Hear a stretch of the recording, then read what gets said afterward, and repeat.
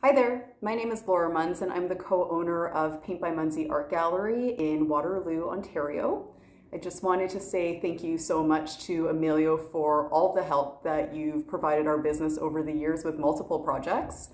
I just finished our 2020 year end.